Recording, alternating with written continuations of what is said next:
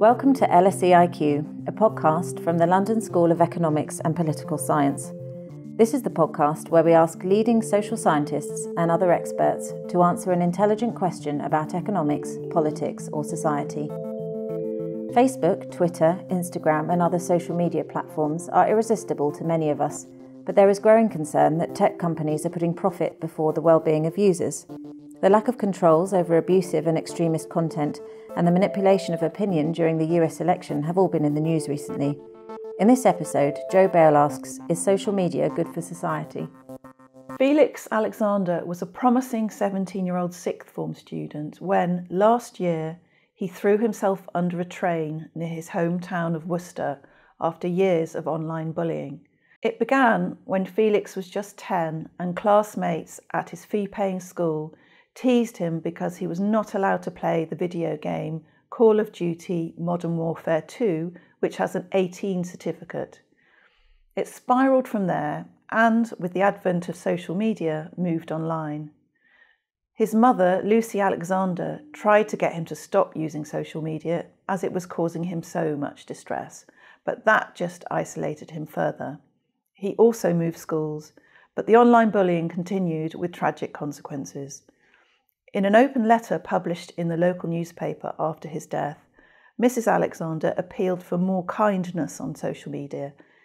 Here's an excerpt from the letter in which she describes how worthless her son was made to feel. His confidence and self esteem had been eroded over a long period of time by the bullying behaviour he experienced in secondary education. It began with unkindness and social isolation, and over the years, with the advent of social media, it became cruel and overwhelming. People who had never even met Felix were abusing him over social media, and he found that he was unable to make and even keep friends, as it was difficult to befriend the most hated boy in the school. In her letter, Mrs. Alexander emphasised the need for a greater sense of collective responsibility on social media to prevent other lives being lost. Be that one person prepared to stand up to unkindness you will never regret being a good friend. I have been told that everyone says things they don't mean on social media, and kindness is dismissed as banter. And because they can't see the effect of their words, they don't believe there is one. Online abuse isn't just confined to children and teenagers. Many adults, particularly those in the public eye, are targeted by trolls and bullies on social media. Sonia Livingstone OBE is Professor of Social Psychology in LSE's Department of Media and Communications. She is a government advisor on internet safety and compares the digital world to William Golding's Nobel Prize winning novel, Lord of the Flies. I think none of us saw coming the kind of outpouring of hostility or um, transgression or bullying kinds of behaviour that were unleashed by a largely anonymous and kind of quite um, distanced uh, space. I mean, by distance, I mean you can't see who you're communicating with and you don't see the consequences of what you're saying. Um, we kind of should have known that give people a free for all space. It's a little Lord of the Flies, I sometimes think. Um, but we didn't see it coming, and yeah, so so there are some kind of shocking things going on. From young people's point of view, I think it's more that it's a very difficult space to understand the parameters and to understand what the kind of possibilities, where the possibilities and problems are going to come from, and really hard to put things right when something has gone wrong. And things can go wrong much faster in a social media environment than they can in a face to face environment.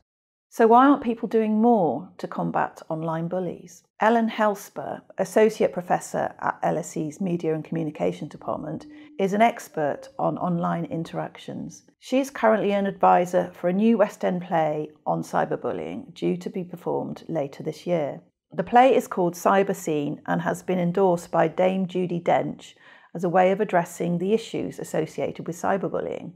Dr. Helsper worked with the director, writer, and producer to create fresh material for the script by setting up workshops for young people to improvise social media scenarios.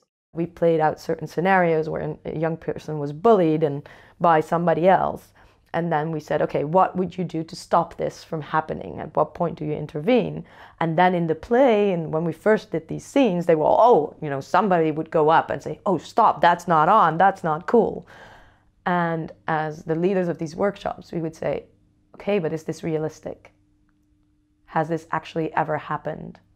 So let's play it as if it's a realistic situation. Let's play it as if the person who is doing the bullying is, first of all, not on their own, but in a group of maybe two or three, is the most popular person of the class who will be organizing a big party that everybody wants to go to at the end of the week, right?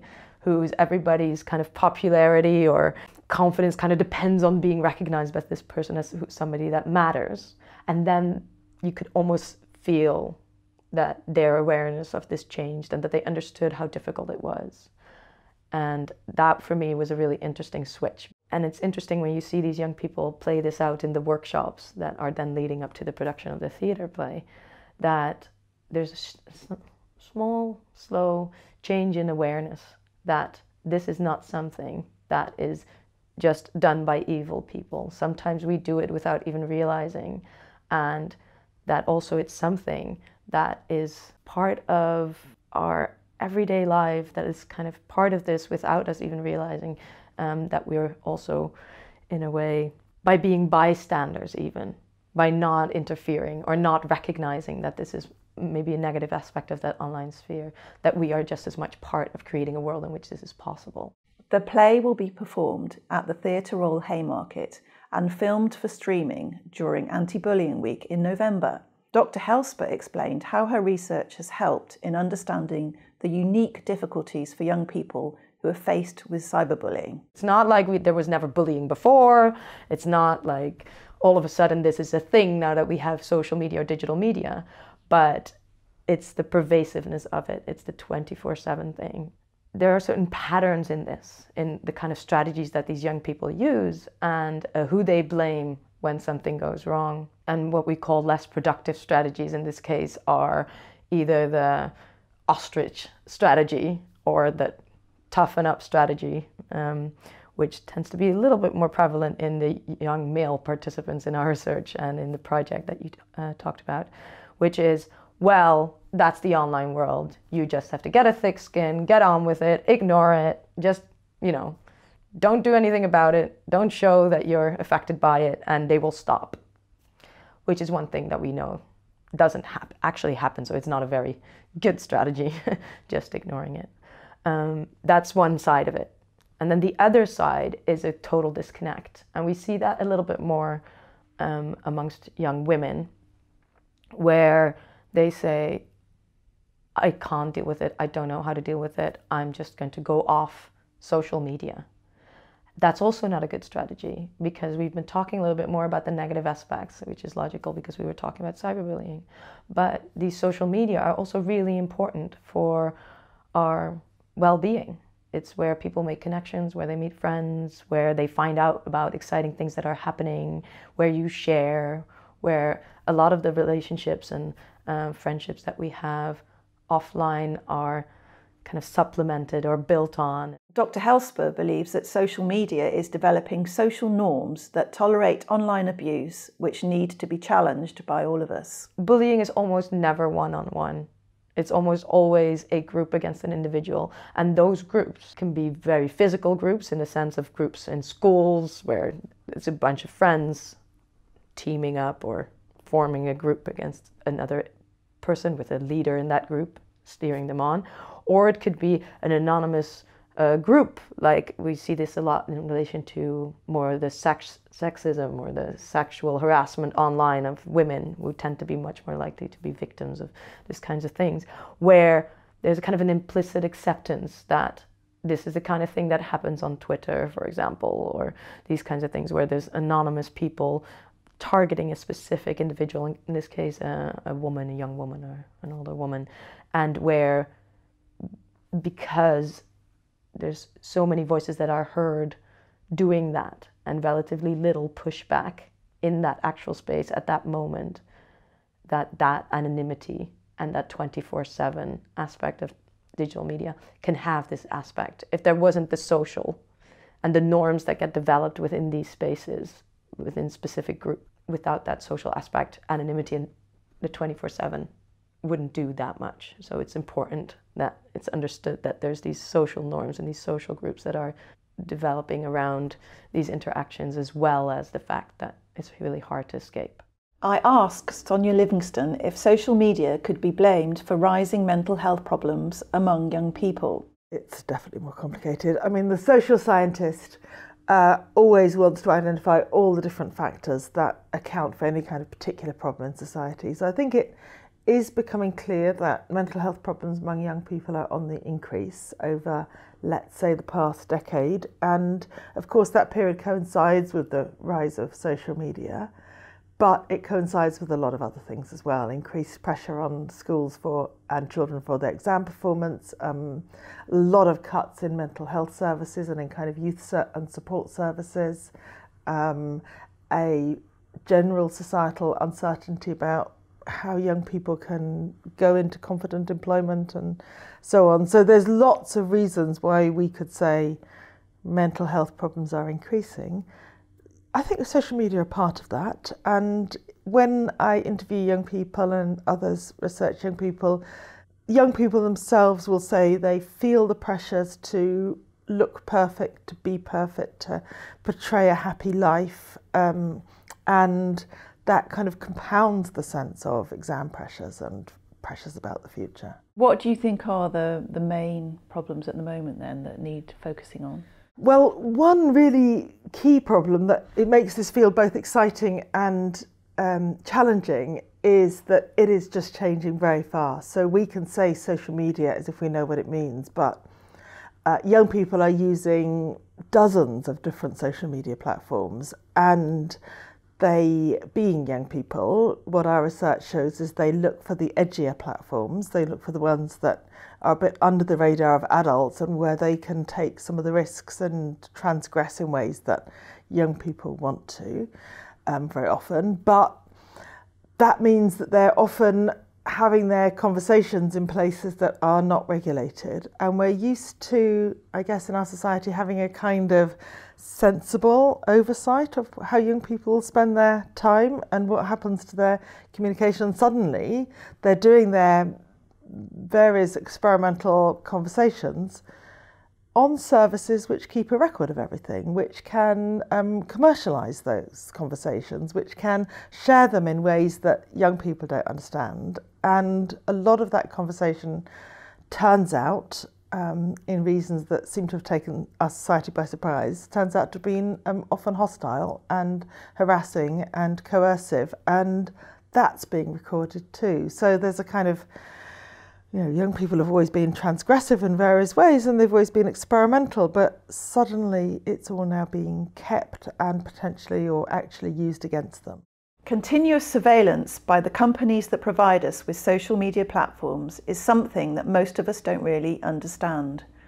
I asked Nick Couldry, Professor of Media, Communications and Social Theory at LSE, why he thinks we should all be a bit more savvy about the big brother aspects of social media. Nick, you're concerned about uh, the amount of surveillance there is on, on social media and how companies are using the personal details we reveal in social media uh, to promote their products uh, and that kind of thing. But is this not a small price to pay for something that we use for free and something that enriches our lives so much? Well, certainly that's what we're told. But I think we have to step back and look at the bigger model, if you like, the business model on which our whole uh, arrangement with social media is based. Uh, it's a very new point in history when um, business models, if you like, the economic viability of social media, the social media infrastructures we rely upon, now depends on something that previously was regarded as taboo, as absolutely not positive. That is, continuous, automated surveillance.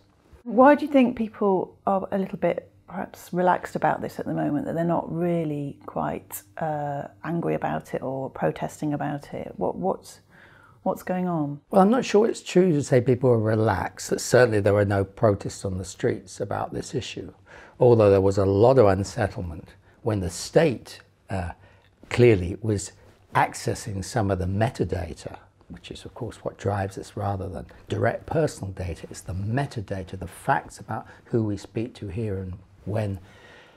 When that was revealed to be in the hands of the state at its command in the Snowden revelations, people were concerned. There's no doubt about that. And it's also true that novels that have tried to foreground this issue around the corrosive influence of constant surveillance on the quality of our lives, such as Dave Eggers' novel The Circle, which was published in America in late 2013, a few months after the Snowden revelations. That impact has had a huge, uh, uh, that novel has had a huge impact, and it's now coming out in a film. So there is a slow burning concern here. The Circle is an eerily prescient tech thriller which tells the story of an internet company that encourages people to wear a portable camera which streams live personal footage from those who wear it, while another bit of technology tracks individuals' history and activities and directly impacts their professional career. Eggers' novel has been praised for the accuracy with which it predicted technology trends such as social media and live streaming. The movie, starring Emma Watson and Tom Hanks, has recently been released. Why hasn't that converted immediately into a political issue? Well, there are a number of reasons. One, as I've already said, um, we think this is being done not by people, but by machines, by algorithms. And of course, that's true. There's too much data for human beings to sift it all in the first instance. But that doesn't mean to say that it's not being recorded, registered, can't be used at some point against us. Um, so that's one reason perhaps we're not immediately uh, on the face of it uh, worried by it. And secondly, that, as you say, there's this pact of convenience. We certainly want to be connected to each other. We want that infrastructure that makes it possible to, for us to be in simultaneous chats with our family wherever they are around the world. But we do care about whether that data is encrypted. After all, that's one of the selling points of WhatsApp. Um, why exactly it was bought by its current corporate owner for so many billions of dollars still remains a mystery if the data can't be used, but we'll, we'll gradually find out. And there's some um, disputes going on with the European courts, or at least the European regulators at the moment, about what exactly WhatsApp is doing with its data. Um, so I think there's a slow burning issue. And the third reason why it's slow burning is that it is so fundamental. We're talking about what I call a political fix, if you like, or even more a social fix that builds in, hardwires in surveillance to the basic running and building of our social world. We've never confronted anything like that before. Surveillance used to be a matter of the whim of the king or the crazy operations of an overstretched state in the Soviet parody or the East German parody, we've not dealt with something that's built into the very nature of how a basic good is delivered to us. And that's a fundamentally new thing for all of us to get our head around. And it's not surprising it's taking us quite some time to do so, particularly, and this is the fourth point, particularly when corporations do not want us to be discussing this. This is exactly the difficult area, the nerve point within the whole shift of business online that is very important to move past to emphasize other more positive benefits. Do you think people are being duped then in a way because um, big business is not really coming clean on, on this kind of surveillance that they're doing? Well, duped is a harsh word, and I certainly don't think there's a corporate conspiracy here. Because, as I said, because the fix is at such a deep level, it's the fix that enables it enables corporations of all sorts to imagine the generation of value for the next century. They're just trying to do what they need to do, which is to generate value. So there's no conspiracy, there's no evil plotting here. However, there are consequences of the decisions being made now, which it's very inconvenient to emphasize. It's very inconvenient to have open debate about because they do challenge the whole direction of travel in businesses across really all sectors. As the great uh, and very critical technology expert in the States, Bruce Schneier, puts it, the business model of the internet is mass surveillance. Now, is that something that's being emphasized to us in every marketing campaign today? I don't think so. And it's pretty obvious why it's not a very comfortable message. As well as mass surveillance, there is growing evidence that social media is also manipulating our opinions and poisoning democracy. Facebook's Mark Zuckerberg and its CEO Sheryl Sandberg initially rejected suggestions that fake news travelling on the network could have swung the US election in favour of Donald Trump. But then Facebook announced it would begin flagging fake news stories and publicly acknowledged that its platform had been exploited by the Russian government in seeking to manipulate public opinion in other countries, including during the presidential elections in the US and France. 62% of US citizens now get their news from social media, which has led to traditional news organisations losing millions in ad revenue. So there are worries that journalists just don't have the resources to hold the rich and powerful to account anymore. LSE's Svenja Ottovordemgentschenfelde is an expert on how political journalism is adapting to social media. She believes that there is reason to be more optimistic change and technological innovation has always been a part of journalism. So if you think about, um, you know, I guess the big move from analog to digital when television first entered the market, then the internet, now, you know, mobile devices, everyone has news literally at their fingertips. Um, all of these um, changes might seem um, very big and daunting and transformative, and they certainly are. But if we look at it you know, with a, I guess, more historic perspective, we can see that technological change has always been um, a big player in sort of the development of journalism.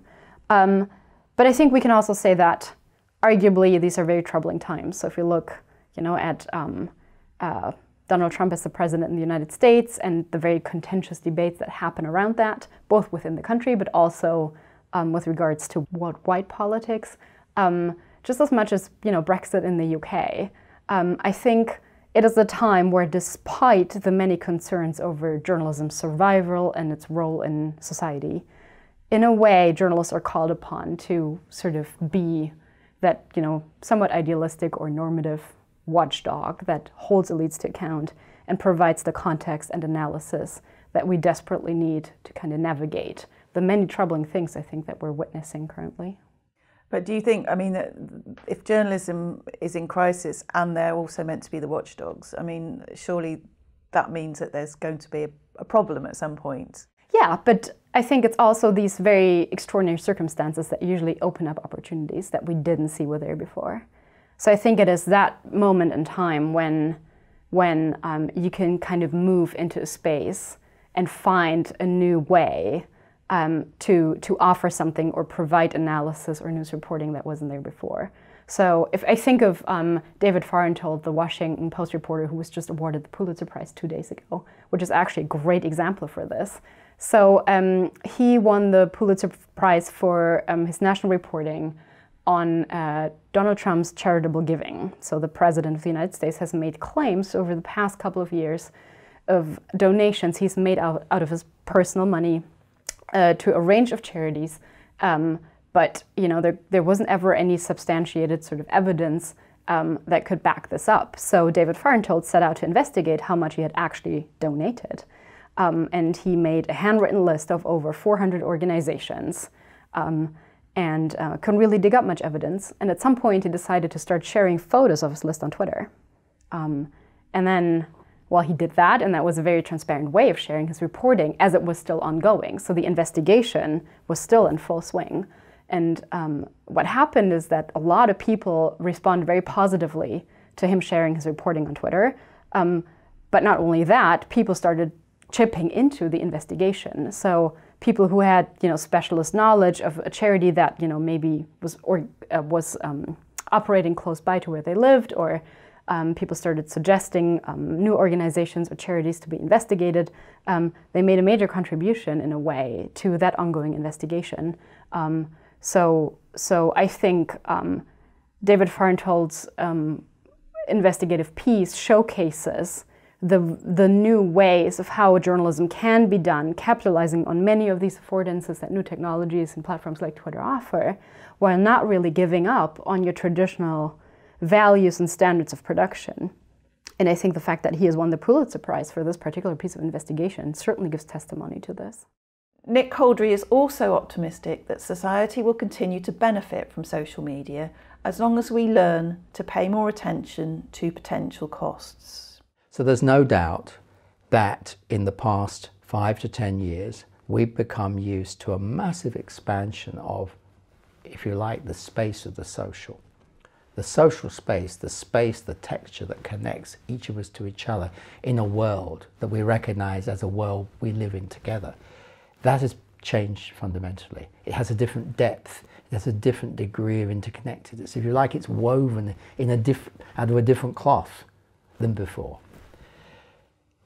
And much of that can, of course, be potentially positive. It enables political mobilization at much greater speed, whatever the outcomes, good or bad.